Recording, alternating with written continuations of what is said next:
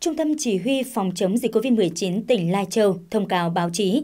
Từ 11 giờ ngày 27 tháng 1 đến 11 giờ ngày 28 tháng 1 năm 2022, ghi nhận 27 trường hợp dương tính với SARS-CoV-2.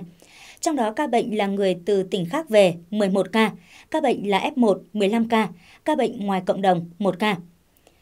Huyện Nậm Nhùn 1 ca, Bệnh nhân số 898 là người về từ tỉnh khác được quản lý ngay khi về, có nguy cơ lây lan dịch bệnh cho người đi cùng phương tiện di chuyển.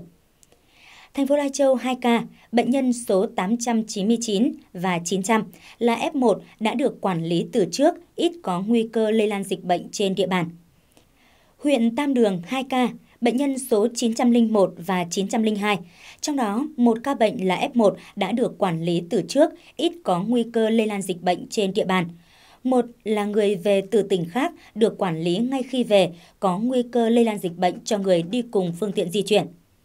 Huyện Phong Thổ 3 ca, bệnh nhân số 903 đến số 905 đều là ca bệnh về từ tỉnh khác được quản lý ngay khi về, có nguy cơ lây lan dịch bệnh cho người đi cùng phương tiện di chuyển huyện Tân Uyên 5 ca, từ bệnh nhân số 906 đến bệnh nhân 910.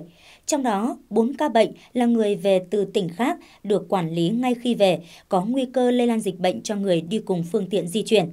Một ca bệnh là F1 đã được quản lý từ trước, ít có nguy cơ lây lan dịch bệnh trên địa bàn.